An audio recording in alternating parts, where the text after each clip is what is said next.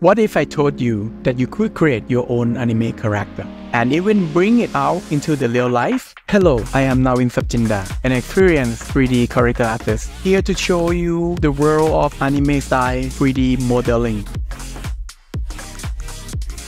We are starting off strong with the fundamental. Learn to scrap female anime figure from the scratch using the detailing, proportion, measuring method. We will be going through useful technique and tools to create anime style weapon and custom, such as how to clean 8 to 8 basic polygon surface. It's time for the final rendering process. We will be cleaning up our digital figure to prep for printing and even preview it with various materials and lighting in Blender. I am Nawin Sapchinda, a 3D character artist, and I will be waiting for you at Coloso.